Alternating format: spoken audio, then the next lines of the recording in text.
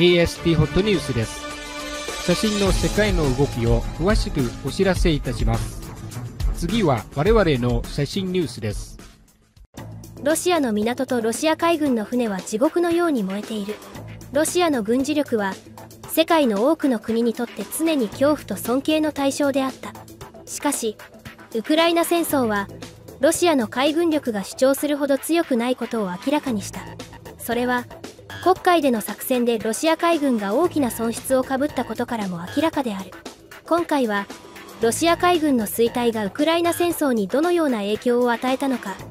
詳しく見ていこう。ロシアとウクライナは長い陸上国境を接しておりそのため陸軍と空軍が紛争に関与してきた。しかしウクライナに最も近い海である黒海ではロシア海軍も活動するようになった。ロシア政府は世界最強の海軍を持つと主張していたがウクライナ戦争はそれが事実でないことを証明した。ロシア海軍はウクライナの港を爆撃しようとして大損害をかぶった。ウクライナ軍はこの作戦に備えロシア艦船に砲弾を撃ち込み大きな損害を与えた。これらの艦船の沈没はロシア軍の数十億ドルの損失を意味しロシアは黒海での海戦を続けることができないことが明らかになったのである。戦争継続に固執していたプーチンも戦略を変更せざるを得なくなった。しかしロシアが全ての船をウクライナの港に運び込むには多くの困難があった。ロシアの軍艦がある港のほとんどは凍結されており東部地域の港は米国に近いため安全保障上の懸念が大きいのだ。ロシアはバルト海にも軍艦を置いていますがこの地域は NATO の湖になっており多くの国が NATO に加盟しています。ロシアの軍艦はバルト海を通過することを恐れヨーロッパ大陸全体を開港しなければならず物流上の大きな課題となっている。さらに黒海へのアクセス道路はトルコにしかなく黒海に到達するためにはダーダネルス海峡とイスタンブール海峡を通過する必要がある。NATO 加盟国であるトルコはこれらの海峡をロシアの軍艦が通過することを許さない。ロシア海軍の衰退は黒海における NATO への対抗能力にも影響を及ぼしている。現在ロシア海軍のどの司令官もあえてプーチンにこのことを報告せずロシア海軍の艦船がウクライナに対して作戦を実行することはできなくなっている。さらにボスポラス海峡に米国最強の軍艦の一つである USS に3つが入ったことも大きなインパクトを与えている。黒海を航行するこの艦は多くの人にとって驚きでありロシア海軍が直面する課題に拍車をかけることになった。ロシア海軍の衰退はウクライナ戦争に大きな影響を与えた。ロシア海軍の衰退はウクライナ戦争にも大きな影響を及ぼしている。ロシア艦艇の沈没で資金が大きく失われロシアは海軍を更新できないことが明らかになった。全ての艦船をウクライナの港に運ぶという物流上の困難と NATO 加盟国の存在によりロシアが黒海で NATO に対抗することはほとんど不可能になった。ウクライナ軍。1日で1000人以上のロシア人侵略者を排除。現在進行中のウクライナとロシアの紛争は最新の報道で明らかになったように双方に大きな犠牲を強いている。2月18日ウクライナ軍は兵士や軍装備品など1010人のロシア人侵略者を排除した。これは戦闘の激しさを示す重要な数字でありロシア軍の圧倒的な力にもかかわらずウクライナが自国の領土を守ることができることを示すものである。さらに民間軍事会社として悪名高いワグナーグループはウクライナ紛争開始以来3万人以上の兵士が負傷または死亡し大きな損失をかぶっている。同社は囚人を大砲の餌として採用し非人道的な方法で使用したことで非難されている。この戦略は犠牲者の数が増え続け同社にとって大きな代償となった。最近の報道によるとロシアが少しずつ成果を上げているバフムートの戦いでワグナーグループは相当数の兵力を失っている。しかし米国はこの都市には戦略的価値がないためウクライナはドンバスで強力な防衛線を維持すると考えている。これは米国がウクライナを支持しロシアの侵略からウクライナを守るための支援を行うことを示す重要な声明である。ルハンスク州の状況も複雑だがルハンスク州軍西部のセルヒー・ハイダイ部長によればコントロールされている。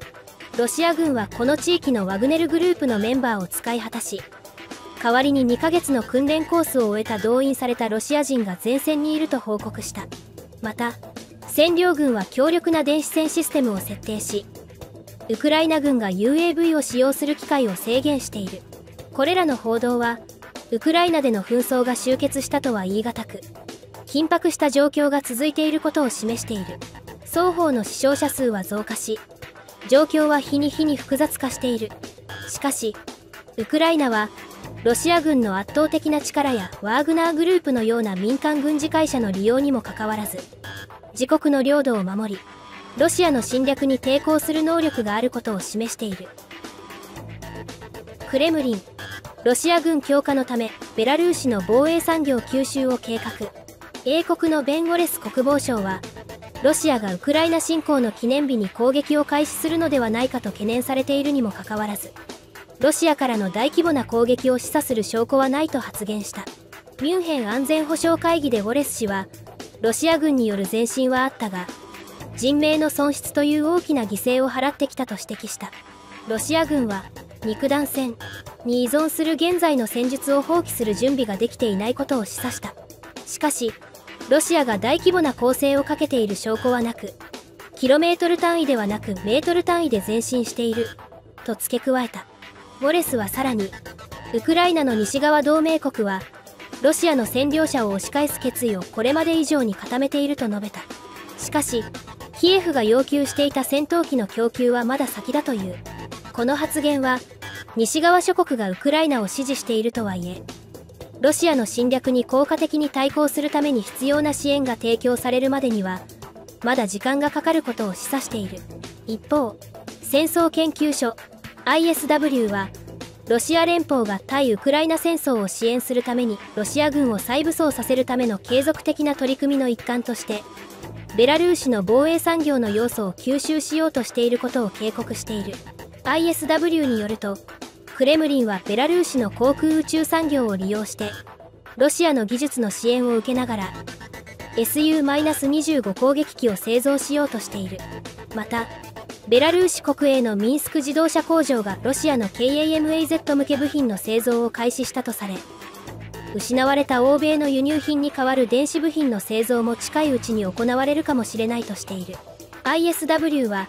ロシアが自国の軍事力を強化するためにベラルーシの軍事産業をより積極的に利用する可能性が高いと警告している。クレムリンがベラルーシの工場を買収し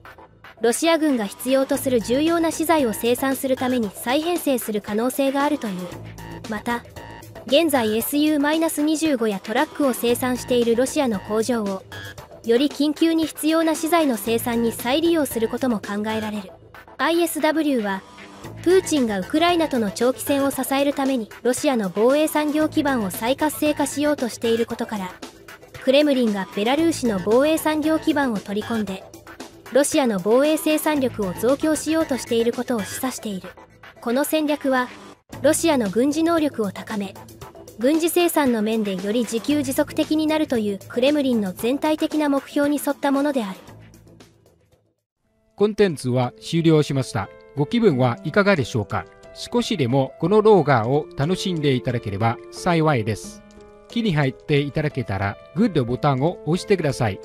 コメント欄であなたの考えを教えてください。